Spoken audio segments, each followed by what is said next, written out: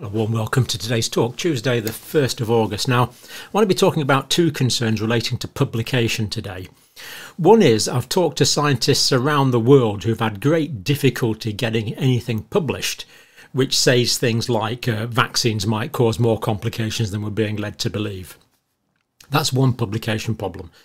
And the other is a lot of mainstream media simply seems to be going along with the accepted narrative rather than challenging. We seem to be short of investigative journalists.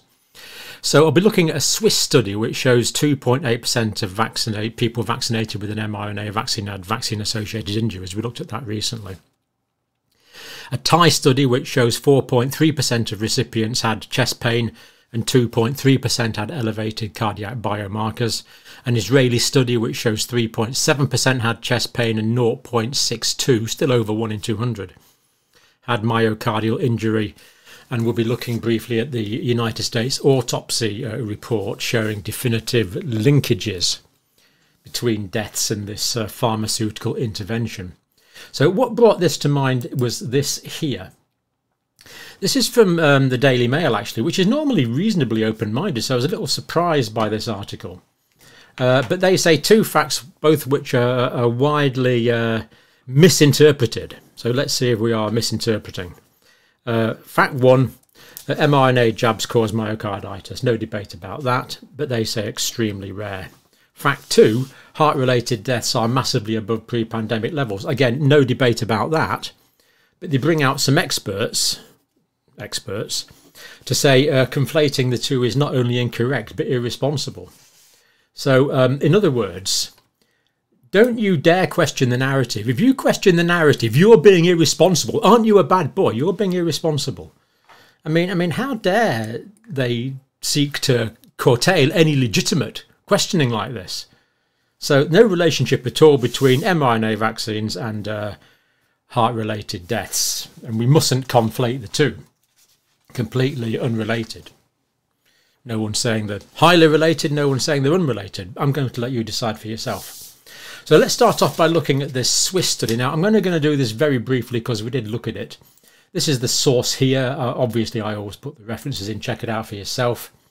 mRNA, uh, this is the Moderna vaccine associated with myocardial injury, was adjudicated in 22 participants, 2.8%. Uh, pretty high. 1 in 35 recipients, 2.8% had vaccine associated myocardial injury, to be clear. And this was against match controls using elevated high sensitivity cardiac troponin concentrations, which we looked at is a biomarker of myocardial damage and injury. And uh, the troponins were significantly higher in the post vaccine group than in the control group. So, again, so we're seeing about 2.8% had um, were judged to have myocardial injury from their troponin levels. And of course, troponin levels are an absolutely standard way of measuring this throughout uh, healthcare around the world, as far as I'm aware, certainly in the United Kingdom. Now, the next study we want to look at um, is this one here. Again, I put the links there. Uh, do check it out for yourself. I'm not making these studies up, they're all there. But as we've said, these studies probably represent the tip of the iceberg because I've talked to scientists around the world who can't get this sort of pub, uh, this sort of publication, this sort of information published. A lot of the mainstream medical journals don't want to touch it with a barge pole for some reason. Um, really is a very strange and unfortunate time for science and medicine that we're living in, in my view. Um, didn't think things would come to this, really. Anyway, this is the Thai study. Cardiovascular manifestations of this is the Pfizer vaccine in adolescence. So after this vaccine, second dose, Thai adolescent boys, 13 to 18 year olds, two schools, uh, 314. Again, why aren't these studies bigger? Why aren't governments conducting these studies on a huge scale? Uh, most common cardiovascular signs and symptoms 7.64% had tachycardia, huge amount. Shortness of breath 6.6, palpitations, awareness of the heart 4.3, chest pain 4.3, high blood pressure just under 4%. One participant could have had uh, more or one sign. So some people had more than one sign. And when you add them all together, um, 29.24 um, had uh, cardiovascular manifestations. Um, th these are just huge, huge unacceptable levels in, in my view. Why is this still being debated? Why isn't why isn't this published all over the international medical journals? It's um, it really is very strange. Um, severe uh, seven participants, two point three three percent, exhibited at least one elevated cardiac biomarker. So uh, two point three percent there with an elevated biomarker, somewhat lower than the Swiss study, but still astronomical. Myocarditis was confirmed in one patient after vaccination, but that, remember that's only out of 314, which is very high. Four patients had suspected, so uh, two patients suspected pericarditis, four patients suspected subclinical myocarditis. The clinical presentation of myopericarditis after vaccination was usually mild and temporary, with all cases fully resolving within 14 days, which is good. Now, um, this is often put forward uh, by proponents of continuing mRNA vaccination uh, as as being well, don't worry about it, it's just a bit of myocarditis. Well, firstly, I don't think it's acceptable. Some some myocarditis is a serious condition. I'm just going to read from Davidson's Medicine here. This is this is the definitive medical text that we've been using for generations. Uh, there is strong evidence that some forms of myocarditis may lead to chronic low-grade myocarditis or dilated cardiomyopathy patient frequently recovers from the acute infection but goes on to develop a chronic dilated cardiomyopathy 10 or 20 years later. Now, this is talking about viral uh, myocarditis primarily, um, but of course, we haven't had 10 or 20 years later. These studies are, by definition, have got short follow ups. So, yes, delighted that that's true. Let's hope it remains the case. Um, adolescents receiving mRNA vaccine should be monitored for cardiovascular side effects as they were in the Swiss study. Of course, this is not being done in most places. The evidence is not being followed. Then we move on to the Israeli study. Again, putting a few things together here. Now, this is the Israeli study uh, here. Obviously, uh, full links and uh, all information are there readily available in the public domain. Uh, prospective study on myocardial injury after Pfizer mRNA COVID uh, COVID nineteen fourth dose vaccine in healthy persons. Incidence of myocarditis injury after fourth dose of vaccine. Number again relatively small. Why isn't it a huge national study? Again, using high sensitivity cardiac troponin is the international marker of myocardial damage. Um, taking anything abnormal as being above the 99th percentile of what it should be, and, and a 50% increase. Reported vaccine related adverse reactions.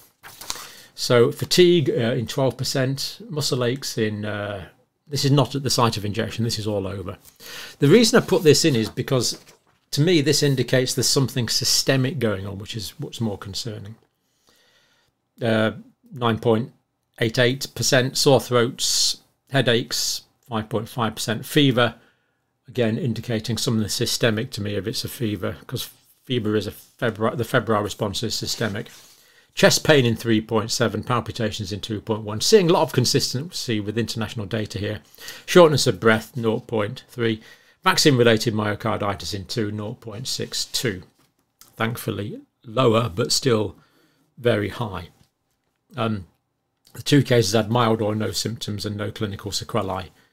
Uh, but remember, uh, not enough time has passed to say that definitively. I wouldn't have thought. So uh, the studies that have scraped past the censor or censors around the world um, are fairly consistent. We're getting consistency between studies on these level of injuries, the increased troponins indicating the uh, the myocardial damage. We are seeing consistency.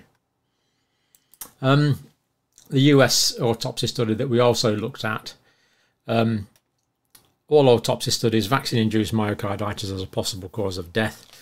Most cases had symptoms consistent with myocarditis prior to death, but some didn't. So some cases died without prior symptoms. They just presumably heart inflammation resulting in ventricular fibrillation. But most did have symptoms, uh, both bad, of course. Uh, we established that all 28 deaths were causally linked to COVID vaccination by independent adjudication. So there's causality here. Um, now, The other thing that this study did do was it gave a graphic, which was pretty interesting, of the time at which uh, death occurred.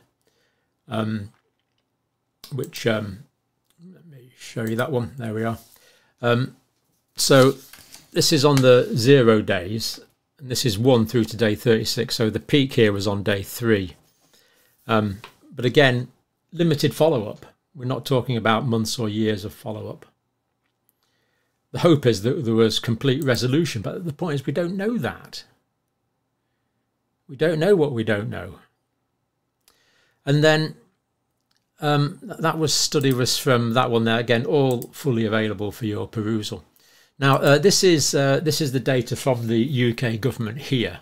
So um, I just want to show you um, just a few examples of that. If you go on that website, you can be there for ages because they uh, they break the data down very uh, very nicely. So this is excess mortality in England by age group. So we see it's high. Now this age group here that I've picked out is the 25 to 49. And we see that at the moment, so that's 2022, 2023, we see it's higher. We are seeing more deaths in this young age group, 25 to 49, young adults basically, that we're, um, we're seeing there. Uh, th this is in the 50 to 64 year old age group again, greatly increased, um, uh, greatly increased excess deaths. But what about the cause? Well, just restricting this to cardiac causes. Here we see um, increased uh, cardiac deaths. Uh, this is just English data, actually. So, um, so this is uh, excess mortality in England by cause of death, and this is uh, this one's just circulatory disease, right? So this one's circulatory disease, but we definitely see a, an increase. These darker blue lines are below average. The lighter lines are above average. It's way above average. Way above average. This one is uh, ischemic heart disease, and again, way above what we would expect. And this one is uh, this one's heart failure, which, bearing in mind what I read out, you know, we are seeing great increases in heart failure. Um, and this is into uh, this is uh, 2023 data we're looking at here. Um, this is does seem to be ongoing. So there we go. That that was um, quick run through the evidence.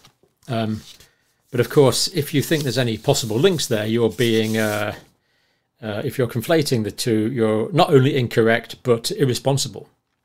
So consider yourself well and truly castigated if you dare to think for yourself. I mean, I'm trying to make light of this, but the situation really couldn't be more serious. Um, I'll tell you what to think. But I'm not saying that. People are saying this. Don't get me wrong. I, um, I'm not telling you what to think, but people are telling us what to think. And um, don't need to think for yourself. Just get the information from the oracle from on high. Don't worry about it. Don't think about it for yourself. Just uh, just be a good boy, be a good girl, and, and don't don't don't don't start conflating things that aren't conflated, and don't don't be irresponsible. Just incredible, patronising, so patronising. We'll leave it there. Um, more to come on this, sadly, I fear. Thank you for watching.